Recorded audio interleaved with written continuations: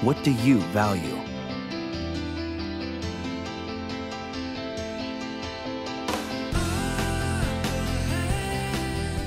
At King's College, values aren't measured in dollars and cents. Here, values are experienced. They are lived.